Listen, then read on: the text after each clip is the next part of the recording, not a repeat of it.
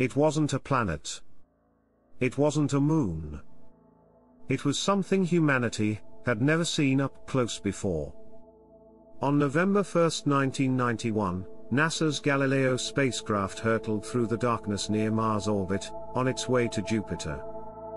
But in that silence, it passed within 1,600 kilometers of a small, potato-shaped rock named Gaspra. Until that moment, asteroids were just blurry dots in telescopes, relics of creation itself, floating mysteries between Mars and Jupiter. Galileo changed that forever. Its cameras captured 57 stunning images, revealing craters, ridges and scars, proof that even these small rocks held stories billions of years old.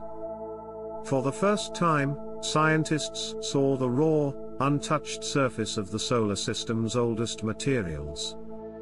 And here's the twist, those first asteroid pictures became the blueprint for every deep space encounter that followed, from Eros to Bennu.